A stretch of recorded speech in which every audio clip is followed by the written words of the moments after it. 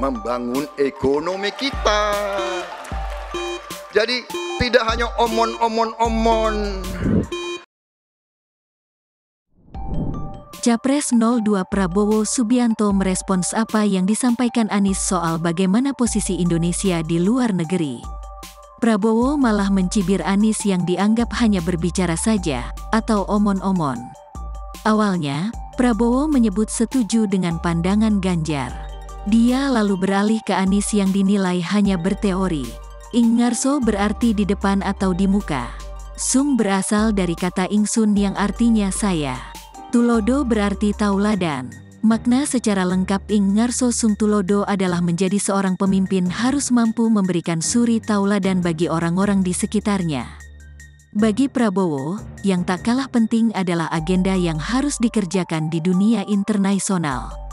Indonesia sudah jadi rujukan berbagai negara berkembang, bukan cuma cerita. Kembali kami berikan kesempatan kepada Bapak Prabowo untuk menyampaikan tanggapannya atas jawaban dari dua capres sebelumnya. Kami persilakan Pak dalam waktu satu menit.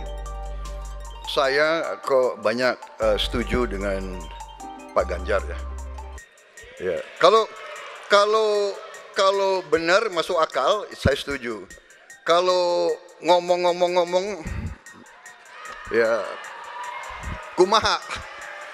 Ya, jadi leadership apakah negara, apakah perorangan, tapi terutama juga negara harus dengan contoh ingarso sung telodo. Kita mau mimpin, kita mau bawa agenda, kita mau cerita itu cerita, omong, omon-omon, ya. Tak bisa.